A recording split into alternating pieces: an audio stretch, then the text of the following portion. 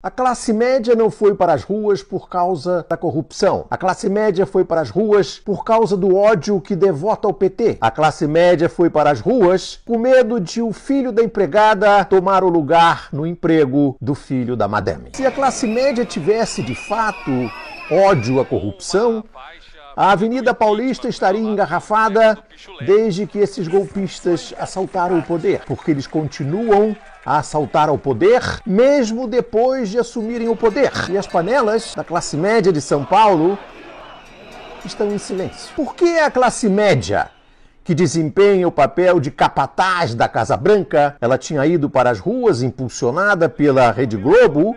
Protestos pedindo impeachment da presidente Dilma em várias cidades do país. Muita gente chegando aqui. Vamos ver a situação agora no Rio de Janeiro de novo. Agora é com a Mônica Teixeira.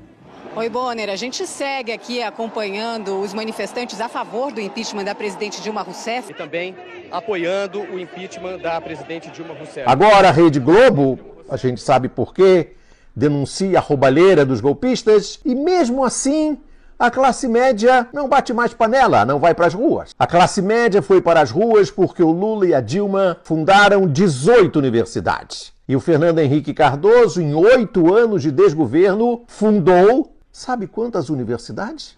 Nenhuma, porque o Lula e a Dilma fundaram 400 escolas técnicas. No governo do Fernando Henrique era proibido fundar escola técnica. No governo do Fernando Henrique havia no Brasil 3 milhões de estudantes universitários. Nos governos Lula e Dilma eram 8 milhões de estudantes universitários. Nos governos Lula e Dilma, as universidades se encheram de negros, pobres, uh, filhos de pedreiros, nordestinos, imagine, nordestino na universidade, mulheres. E eles começaram a se formar em medicina, engenharia, arquitetura, economia. Teve até negro que foi fazer pós-graduação.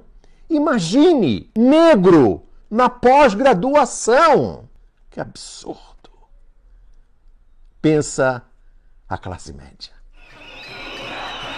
Foi por isso que a classe média bateu panela na Avenida Paulista. Gente, eu vim de graça! Com medo de o filhinho da madame perder o emprego para o filho do pedreiro nordestino em São Paulo.